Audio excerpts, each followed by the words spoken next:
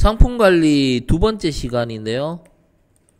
상품 관리 첫 번째 시간에는 상품 등록하는 거예요. 여기 등록, 조회, 수정, 삭제. 그리고 두 번째는 이 등록된 상품을 이용하는 겁니다. 그래서 이름을 홍길동 입력하고 이 사과하면 앞에서 등록했던 DB에 있는 테이블을 참조해서 사과의 가격을 가져오는 게 이게 핵심이에요. 사과의 가격을 가져오려고 하면 앞에서 보면 상품이 두 개가 등록되어 있습니다. 사과 1,500원, 뭐 거봉 4,000원 뭐 등등 이렇게 있는데요. 가져올 수 있는 방법은 뭡니까? 사과라고 입력을 해서 가격을 이렇게 가져오는 거예요. 사과라고 이렇게 해서 가격 1,500원을 가져오는 게 우리가 가장 중요한 목표가 되겠죠. 그리고 이제 이 출력 형태로 출력하는 거고요. 자, 그러면 이게 앞전에 했던 쪽에 DB 클래스가 있는데요. 여기에서 뭐부터 앞쪽에 했던 DB 클래스에 뭐를 넣어줘야 되느냐면요. 이 부분 select F라고 돼 있는데요. 기존의 select하고 좀 차별하게 어, 제가 이름을 좀 바꿨어요. 여기에 뭐가 들어갑니까? 사과가 들어가요. 그죠? 포도가 들어가면 포도의 가격을 알아내는 거고요. 사과가 들어가면 사과의 가격을 알아냅니다. 그러면 여기에 만약에 사과가 들어갔다 하면 가격이 정수형이죠. 그래서 여기 뭘로 바꿔줘야 돼? return해야 됩니다. 이건 return형입니다. void형이 아니고 return형이에요. 사과의 가격을 return해 주니까 밑에 return 값이 있습니다. 이게 price 이게 1,500원이 나와요. 결론을 먼저 이야기하자면 1,500원이 나오는데 이게 1,500원이 정수잖아요. 1,500이. 자, 그럼 이 쿼리를 볼게요. select price from sp where sp name. sp는 테이블이고요. sp name 여기서 보면 sp name이 사과라고 우리가 던졌으니까 사과의 프라이스를 가져가라. 가격을 가져가라. 이 쿼리잖아요. 이 쿼리문을 먼저 이해하셔야 되고요. 그 다음에 이거는 price가 지금은 일단은 초기화를 해야 돼요. 왜냐면 이거는 멤, 멤버 필드가 아니고 안에, 함수 안에, method 안에 이렇게 쓰는 데 있기 때문에 이건 지역 변수죠. 그렇기 때문에 얘를 초기화를 해야 돼요. 안 하면 안 되잖아요. 그래서 영으로 일단 초기화를 해놨고요. 그 다음에 얘는 물음표가 들어가니까 동적 쿼리입니다. prepare statement가 되고요. 첫 번째 물음표에 우리가 여기서 사과라고 던지면 여기 사과 여기 사과가 들어가는 거죠. 사과를 넣고 검색을 하는 겁니다. 그러면 result set에 어떤 값이 들어갑니까? 요 요거 price 요 부분을 요 테이블을 참조합니다.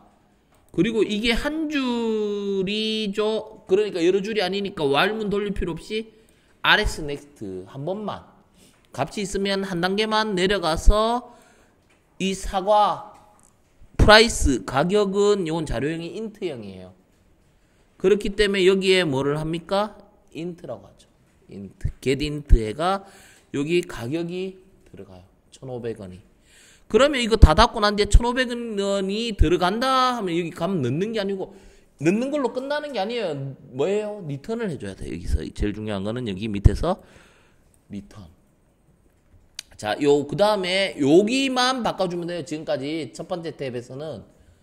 첫 번째 탭에서는 select F라는 method만 잘 만들어주면 돼요. 이제 두 번째 탭으로 넘어갑니다. 두 번째 탭에서는 우리가 어, 판매 관련된 클래스를 만드는 거예요. 판매 클래스를 만드는데요. 여기 보시면 판매 클래스에 뭐가 있습니까? 우리가 이름이 있어야 돼요. 여기. 그 다음에 상품명, 수량 있어야 되죠. 그 다음에 우리가 이 사과 가격이 얼마인지를 알아야 돼요. 사과 가격이 얼마인지 알아야 되니까 그걸 가져오는 거예요. DB에서 가져오는 거. 아까 전에 리턴했죠. price. DB에서 읽어가 리턴했는 값이 여기 들어가요. 여기. 이 price에. 그래서 1,500원이란 값이 여기 들어가요. 이 price에. 요 price에 들어갑니다. 요거. 그러면 멤버 필드가 뭐가 필요합니까? price가 또 필요하죠. 그 다음에 계산을 해야 되잖아요. 7개 곱하기 1,500원 해가 total 계산해야 돼요. 그래서 멤버가 이렇게 있어야 돼요.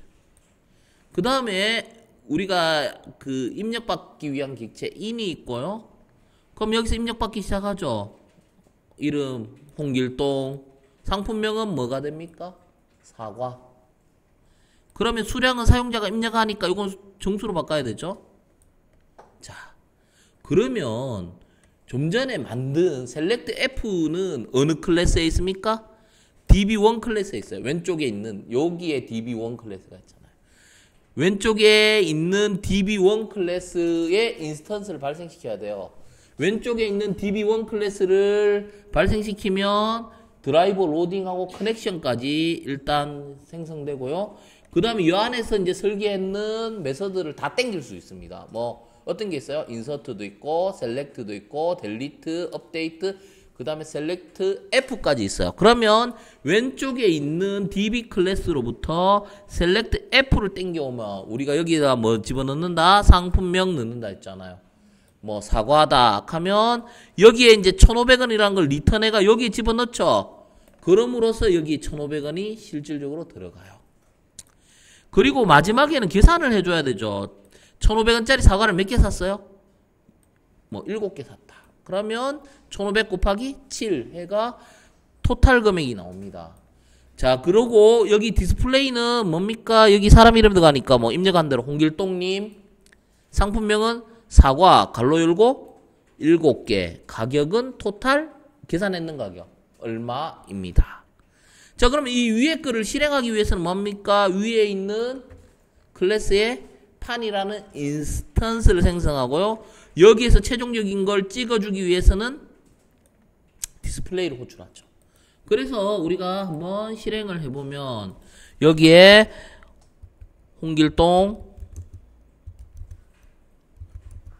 자 상품명 포도 아 사과 사과로 먼저 해볼게요. 사과 수량 7개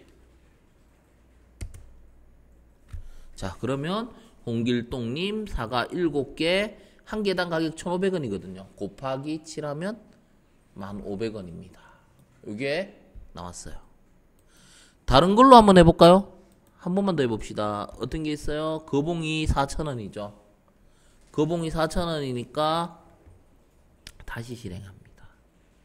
그러면 김철수 김철수가 이번에는 거봉을 삽니다. 수량이 아까 4천원 했죠? 4개 사요.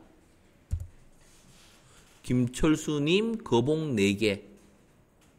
영원입니다. 어? 이게 왜 영원일까? 한번 볼게요. 뭐가 잘못된 것 같은데요. 거봉 4개입니다. 이 price가 제대로 안 되면 그런 문제가 있거든요. 왼쪽 탭에서요. price 0이고요. 여기서 리턴 받습니다.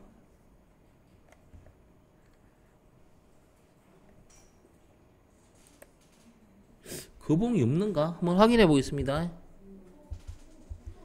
포도로 바꿔서 그럴 거예요. 보세요. 맞죠? 이게 포도예요. 그죠? 그래서 이렇게 나오는데요. 다시 포도로 한번 바꿔서 해볼게요. 김철수 포도 금액도 바뀌어 있을 겁니다. 볼게요. 금액이 5천원이에요. 5천원이니까 여기서 엔터 치고 수량은 4개 5천짜리 4개니까 예, 김철수님 포도 4개 가격은 2만원입니다. 이렇게 돼요. 자, 좋습니다. 그러면 여기에 이 프로그램에 어떤 문제점이 있느냐 하면요. 이거 없는 상품인지 있는 상품인지를 좀 보여주면 좋을 것 같아요. 그죠? 있는 상품 내에서 선택을 해야 돼요. 그죠? 우리가 이렇게 사용자가 입력하는 게 아니고요. 어, 떤 어떤 상품이 있는데 상품을 선택하세요로 이렇게 바꿔주면 사용자가 있는 상품을 선택하는데 좀 전같이 거봉을 삭제했는데 있는 줄 알고 입력하니까 어떤 뭐예요 잘못된 가격이 나올 수 있습니다. 그 부분에 대해서 한번 고민을 해보시기 바랍니다. 자 여기까지 하겠습니다.